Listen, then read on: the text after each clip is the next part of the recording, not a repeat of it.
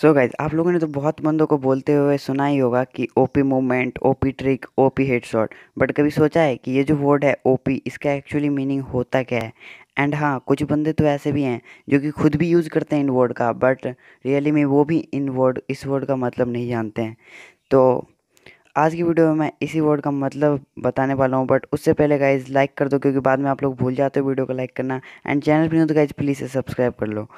तो देखो guys O P का मतलब है ओवर पावर ओ ओ मतलब ओवर एंड पी मतलब पावर मतलब किसी पार्टिकुलर टाइम के टाइम में किसी के अंदर इतना ज़्यादा एनर्जी आ जाना कि वो गाइज़ यूएसपी से भी सोलह परसेंट स्क्वाड कर सके.